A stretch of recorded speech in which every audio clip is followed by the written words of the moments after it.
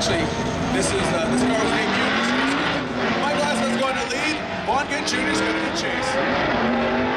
Michael Essa throwing it into the bank. Vaughn Gittin Jr. starting low, working his way high as Essa maintains the high.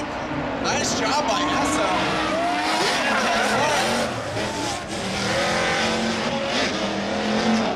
Vaughn Gittin Jr. nosing in on that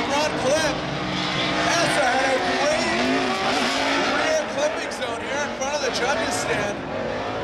Vaughn Jr. applying the pressure, a little straining there by Vaughn.